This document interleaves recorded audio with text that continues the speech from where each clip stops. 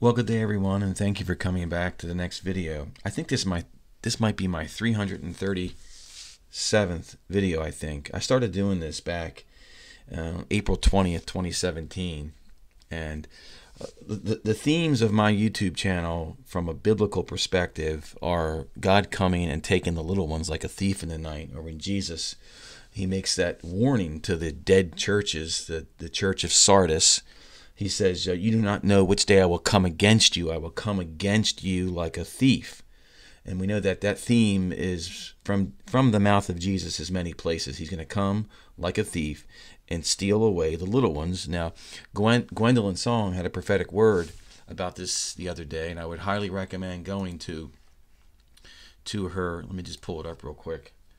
Um, and I've done many video. I'm sorry, it's say who. I've done many videos on this topic, and it, it's always a little interesting when people want to say things like, "God will never do that." Chapter twenty.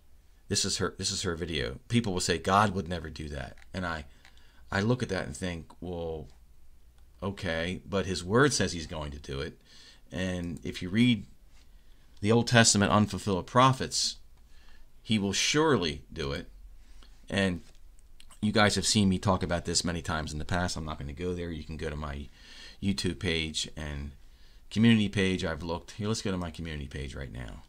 And let's see those scriptures real quick to justify the prophetic word that Gwendolyn received.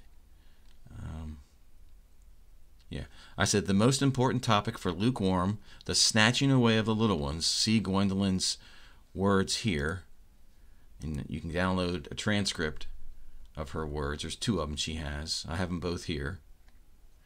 And then you can go and download the Bible scriptures that talk about this. And these are these are just part of them. There's many more. Um, the one in Luke 23 is the most telling one about the daughters of Jerusalem. Why do you uh, do not weep for me, but weep for yourselves? For there will be a day when society will say, uh, how lucky and blessed it is for women to not be pregnant and for women to not be nursing a child. And the reason society will be saying that is because the little ones have been taken and the breasts have dried up, like it says here, Hosea 9. This is an unfulfilled Old Testament prophecy that our Christian churches of today completely blow off and ignore. The prophet speaks to God, and God's the prophet says, "Lord, what are you going to do?" Lord, what are you going to give these lukewarm? And God Himself says, not Gwendolyn, not any of the modern day prophets, He says, I'm going to give them a miscarrying womb and dry breasts. and that would fulfill the prophecy made by Jesus, where He says, How dreadful it will be in those days for pregnant women and nursing mothers. Okay? That's because Jesus fulfilled his other prophecy where he says, Let the little children alone, do not hinder them from coming to me, for the kingdom of heaven belongs to such as these. The little children belong to the kingdom of heaven, they don't belong to their earthly parents. So, th- this idea is an absolute um, fanatical stance. If you were to go through the churches today in America and start teaching and preaching this, they would think you're crazy. But that's exactly what God's word says. And when you go to Gwendolyn's word, her word alludes to the same thing. Now, luckily, there's many people here that are agreeing with her, but every once in a while, you'll see somebody that says, God would never do that. God would never do what his word says he's going to do. And that's a, that's a, um, that's a, a, a statement that we obviously know is not true. Okay, so that's not why, that's not, I just wanted to put that part back into this video and make light of the fact of Gwendolyn's recent word. Okay, so one of the other topics that I've spoken about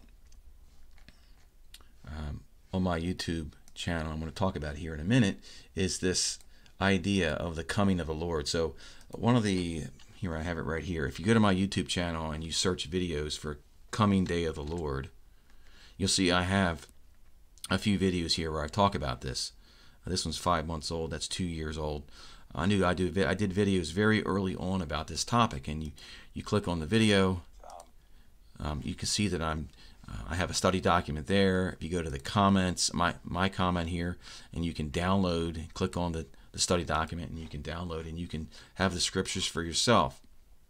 And so this particular document has been updated to show the recent um, discovery, in my opinion, of of why everybody is going to be freaking out when the day of the Lord comes. So let's go ahead and go to my my study document, and you guys can download this. This is the exact same study document I've been using now for at least three or four years. Now I've tweaked it a little bit here and there, but it starts off like this. It says, "What will it be like when Messiah comes to the earth?"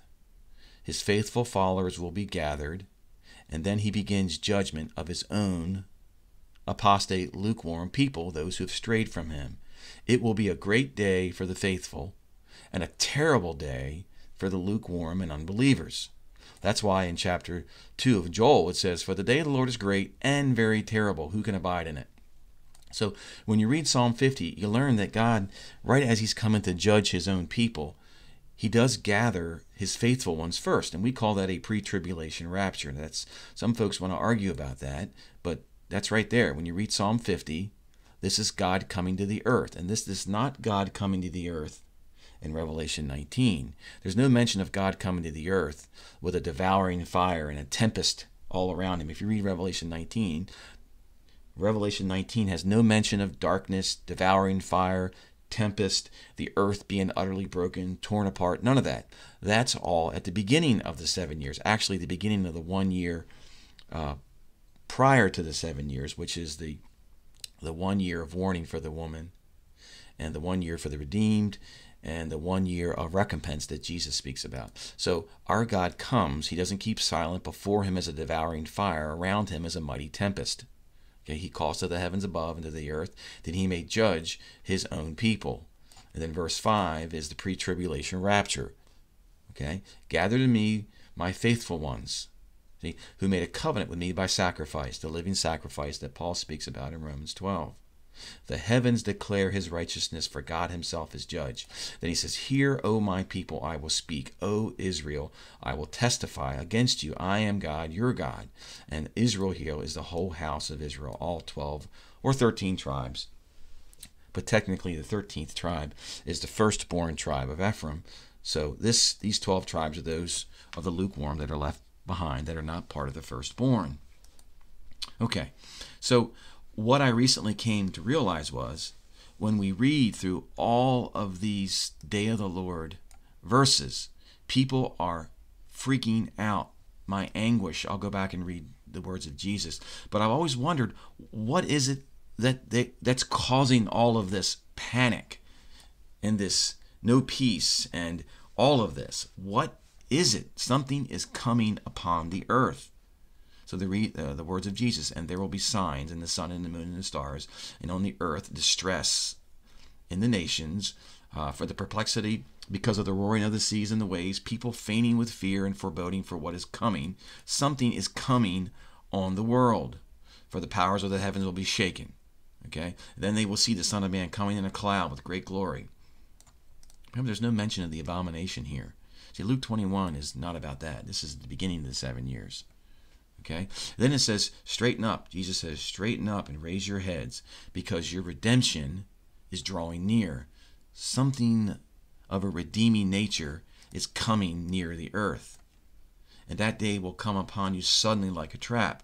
Here it is right now. For it, it will come upon the, all those who dwell on the face of the earth. But keep alert at all times, praying that you have the strength to escape all these things that are about to take place and stand before the Son of Man. So there's a group of people who are faithful who have prayed to escape and stand before the Son of Man. I want to be part of that group. Jeremiah 4 speaks of the same thing. Behold, he comes up like the clouds.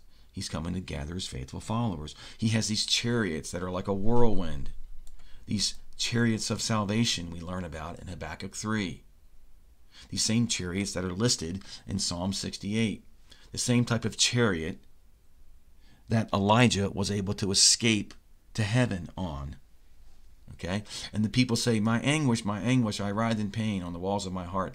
My heart is beating wildly. I can't keep silent. I keep hearing that trumpet and seeing that crazy sign in the sky. I keep seeing that sign and hearing that trumpet. I don't want to hear that anymore. And then the Lord says, My people are foolish. They know me not. They are stupid children. Okay, so something's coming on the earth while the Lord is riding a horse with a chariot. Okay, we learn in Habakkuk 3 he has a bow too, by the way. Isaiah 13, the same type of thing. All human hearts will melt. Pangs, agony will seize them like a woman in labor. There's that woman in labor reference. This is how we learn about what is coming on the earth. It's the new city, Jerusalem, is coming near the earth. It's going to light up the sky with the brightness of his coming. I'll go to those verses in a minute. Isaiah 24, the earth is utterly broken. It's split apart, violently shaking. The earth staggers like a drunken man. Okay. Jeremiah 30, a cry of panic, no peace. Why is every face turned pale? A time of distress for Jacob, the left behind apostate Jacob. Ezekiel 21 is just like Luke 21. It says, Because of the news that it is coming, every heart will melt, all hands will be feeble, every spirit will faint, all knees will be weak as water. Behold, it, the new city Jerusalem, our redemption, is coming upon the earth. And it's going to be a shining city on a hill that Jesus mentions that's going to light up the sky. And remember, with the brightness of Jesus' coming, that's when he kills the Antichrist. So he'll go to the pit of hell and be waiting there for the angel Abaddon to let him up. He'll come up and rise out of the pit of hell, as it says in Revelation 11, and he'll kill the two witnesses. But first, the Antichrist must go to the pit of hell because Jesus is going to kill him with the sword. That's what the scriptures say. And I went off on a tangent. I don't have those scriptures in front of me, but if you've listened to some of my recent videos, I show those scriptures. Joel 2, same thing. The sun and moon are darkened when this event occurs. But then Joel 2 says that anyone who calls upon the name of the Lord will be able to escape to the heavenly Mount Zion and the new city Jerusalem, this floating city above the sky. Why do I keep saying that? I say that because my recent video, if you saw my recent video, I go through all of this. This this city of the living God, the heavenly Jerusalem, is this Mount Zion where there's going to be a, a festival gathering. I've spoken about that with the church of the firstborn who are enrolled in heaven.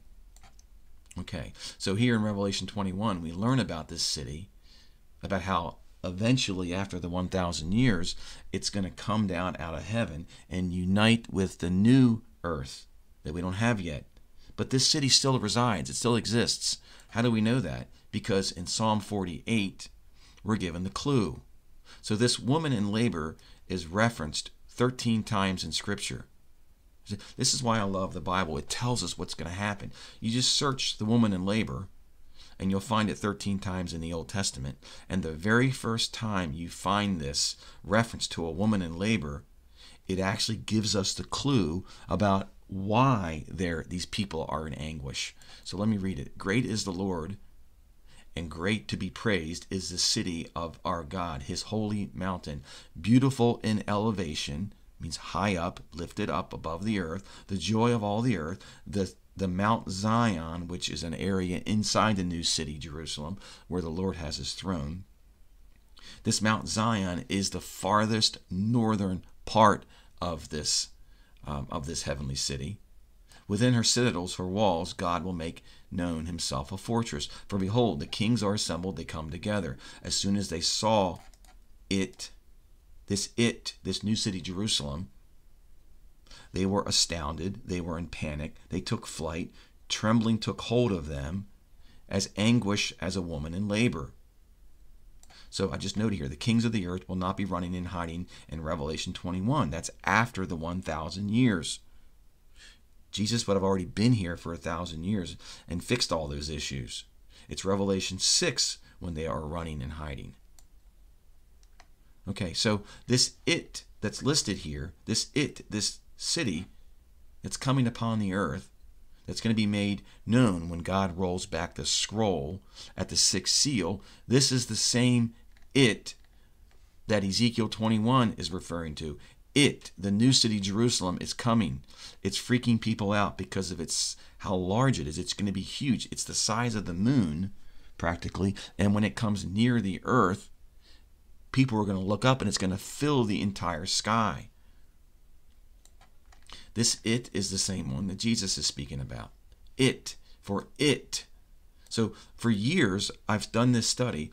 I never knew what it was. It, it what was, I was curious. No clue for years and years and years. Finally, now, after studying the Bible and finding this it in Psalm 48, it's not the Antichrist riding a white horse. It's none of that.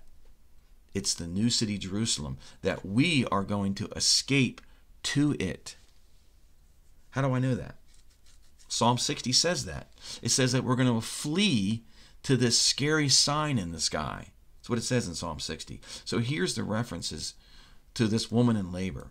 So what you can do is you can, I'm not going to go through all, you can go to each one of these chapters in the Old Testament and you can read further commentary about what is going to happen uh, when all this is going down. So this it happens in Jeremiah 50 where Babylon's destroyed. It's all over the Bible. It's 13 times. I'm not going to go through all of them, but you can read about it here. So we can use the Bible to tell us what's going to happen instead of just thinking up things about, you know, I read I read prophetic words sometimes and they try to scare you to death. When I guess, yes, for those who are non believers, it's going to be a terrible time. But for us who are watching right now, it'll be a glorious time, just as it says here, right here. For the day of the Lord is great and wonderful for us, the faithful, who have already sold out for Jesus and we've submitted our bodies as living sacrifices. Okay, so let me go to this study I did, um, this right here. I did this did this study mm, two, three weeks ago. And I was all over this brightness that when the Lord comes, He's going to come with brightness of lightning. He's going to light up the sky. Here, look, Isaiah 30. In the day of the great slaughter of the kings of the earth, when they're all sent down to the pit of hell, Moreover, the light of the moon will be as the light of the sun, and the light of the sun will be a sevenfold as the light of seven days. In the day when the Lord binds up the brokenness of his people and heals their wounds, behold, the Lord comes from afar, burning with his anger, and in thick smoke rising. His lips are full of fury, and his tongue is a devouring fire. So, this brightness, we're going to have seven days, it appears, when this shining city on a hill this floating city in the sky is going to be hovering above the earth, gathering his faithful. Where did I get that from?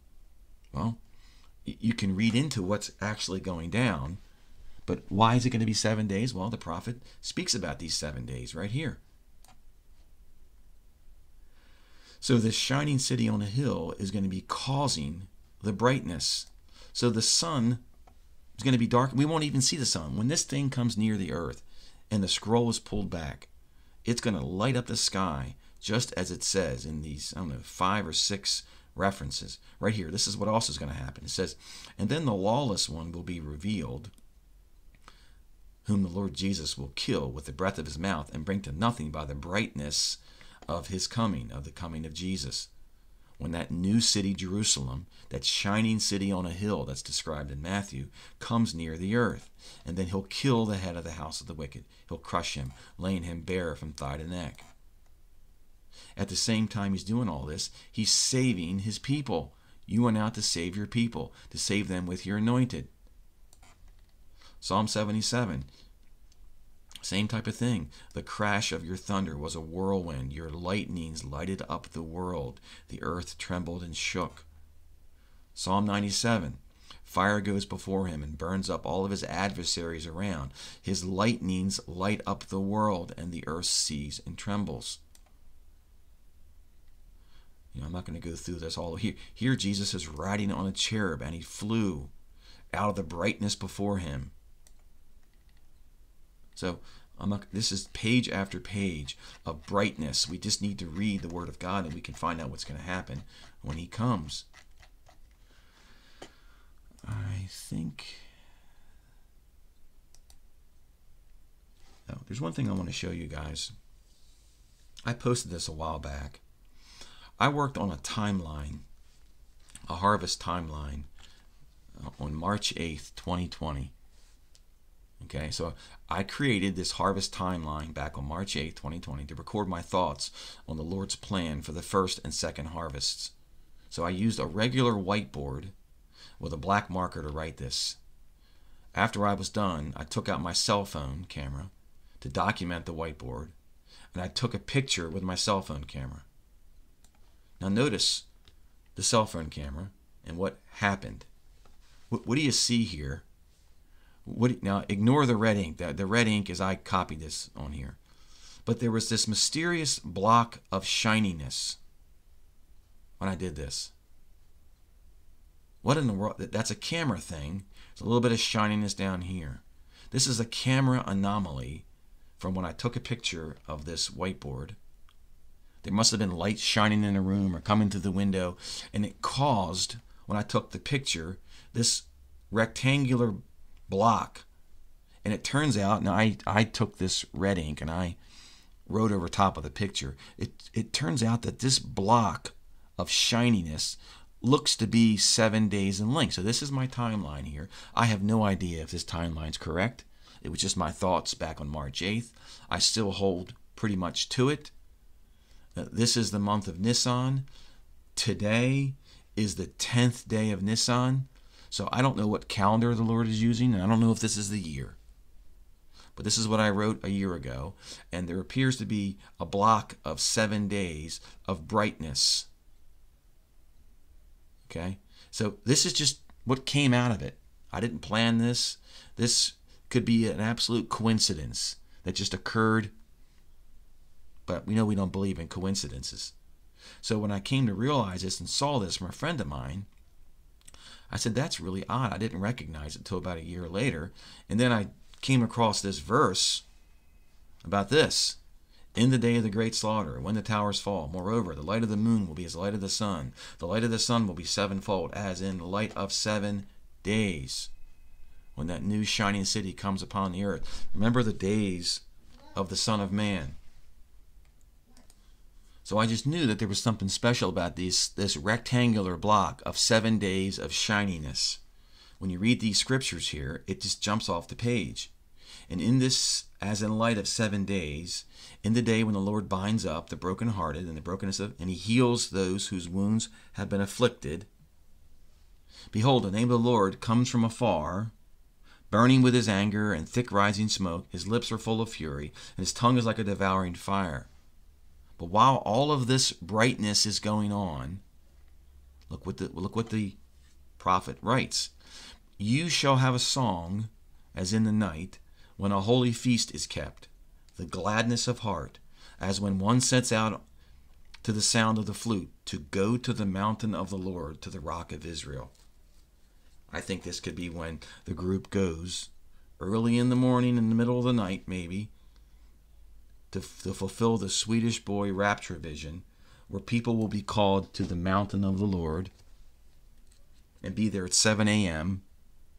Sweden time, which for North America is in the middle of the night. So you guys can download this document. Um, if I was to speculate on a calendar, I don't know the calendar. I have this listed here as Nisan 1. We've already had Nisan 1. We don't know the calendar the Lord is using. I couldn't tell you. It might not be this year. It might be next year. I don't know. So I just could not let this seven days of brightness go by without sharing this with you guys. I posted this a while back on my community page, but I didn't do a video about it. So, you know, I've speculated that this Nisan 1 could be April 1, could be March 30th. I don't know. So with that, guys, I'll let you go. Have a great day, and God bless you.